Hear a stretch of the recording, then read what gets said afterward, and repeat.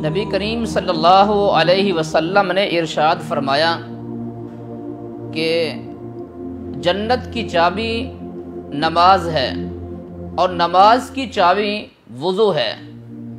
اگر وضو آپ کا ٹھیک ہے، وضو آپ کا درست ہے، وضو آپ نے اچھے انداز سے کیا ہے، مکمل اعضاء کو، وضو والے اعضاء دھوئے ہیں، تو آپ کی نماز بھی درست ہے۔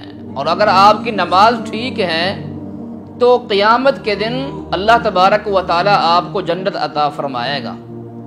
ایک دوسری حدیث میں آپ صلی اللہ علیہ وسلم نے ارشاد فرمایا کہ اے میرے صحابہ کرام کی جماعت، کیا میں تمہیں ایسے اعمال کے بارے میں نہ بتاؤں کہ اللہ تبارک و تعالی ان اعمال کی برکت سے تمہارے گناہوں کو مٹائے گا؟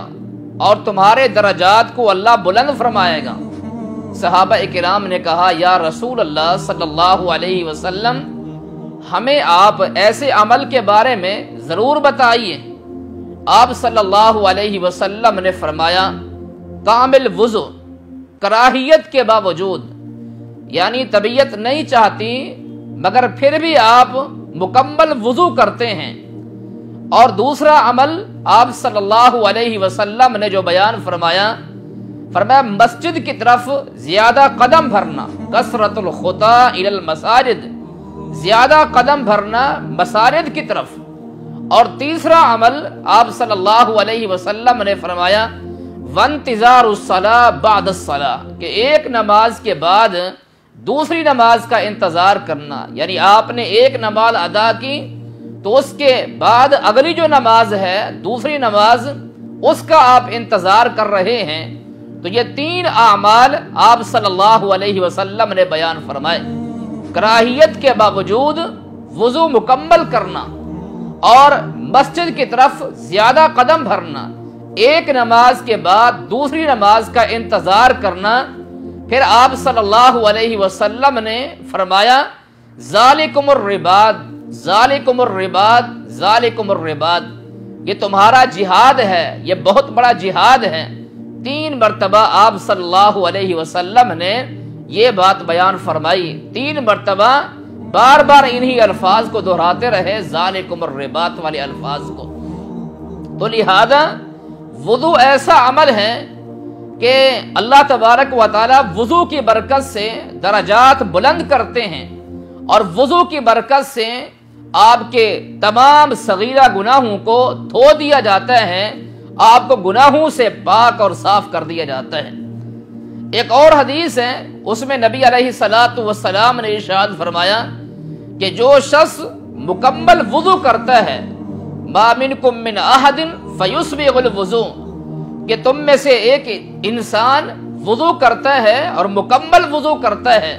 یعنی وضو کے جو اعضاء ہیں، کوئی عضو باقی نہیں رہتا، یا خشک نہیں رہتا، یا اس کا کوئی حصہ خشک نہیں رہتا۔ ثم یقول، پھر وہ وضو کے بعد یہ دعا پڑھتا ہے، اشہد اللہ الہ الا اللہ وحدہ لا شریک لہ واشہد ان محمدن عبدہ ورسولہ یہ دعا پڑھتا ہے، قیامت کے دن جنت کے آٹھ دروازے اس کے لیے کھول دیے جائیں گے۔ جس دروازے سے داخل ہونا چاہیں وہ داخل ہو جائے گا۔ جس دروازے سے جانا چاہیں وہ اللہ کی جنت میں داخل ہو جائے گا۔ یعنی یہ وضو کی فضیلت ہے، یہ وضو کی برکات ہیں۔ ایک اور حدیث ہے، اس میں نبی کریم صلی اللہ علیہ وسلم نے ارشاد فرمایا کہ آپ سلام فرماتے ہیں، جو شخص وضو کرتا ہے اور مکمل وضو کرتا ہے اللہ وجبت لہ الجنہ ایسے انسان کے لیے جنت واجب ہو جاتی ہے۔ تو وضو کے حوالے سے نبی علیہ السلاۃ والسلام کی بے شمار احادیث موجود ہیں۔ چند احادیث آپ حضرات کے سامنے بیان کی ہیں۔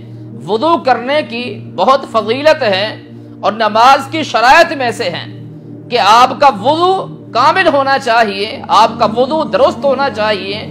اور وضو اس طریقے پر ہونا چاہیے جو طریقہ محمد الرسول اللہ صلی اللہ علیہ وسلم نے اپنی امت کو بتایا ہے کہ آپ وضو کریں، مکمل کامل وضو اور ترتیب کے ساتھ وضو کریں کہ پہلے ہاتھوں کو دھویا جائے، پھر چہرے کو دھویا جائے، پھر بازو کو دھویا جائے، اس کے بعد سر کا مسا ہے اور پھر پاؤں کو دھویا جائے۔ نبی علیہ سلاۃ والسلام نے ایک صحابی کو دیکھا ایک شخص کو دیکھا کہ اس کے پاؤں پر ناخن کی ناخن کے برابر جگہ خشک ہیں۔ آپ صلی اللہ علیہ وسلم نے اسے بلایا اور اسے کہا کہ تم اپنا وضو دہراؤ۔ تمہیں وضو دہرانا چاہیے اور نماز بھی دہرانی چاہیے۔ معلوم یہ ہوا کہ وضو فرض ہے اور نماز کی شرائط میں سے ہے۔ اگر وضو صحیح ہے تو نماز کیا ہے؟ درست ہے۔ اللہ تبارک و تعالیٰ سے دعا ہے جو کچھ میں نے بیان کیا، اللہ اس پر عمل کرنے کی توفیق عطا فرمائے، قرآن و حدیث کی فہم عطا فرمائے۔ اقول قولی هذا، استغفر اللہ لی ولکم ولسائر المسلمین۔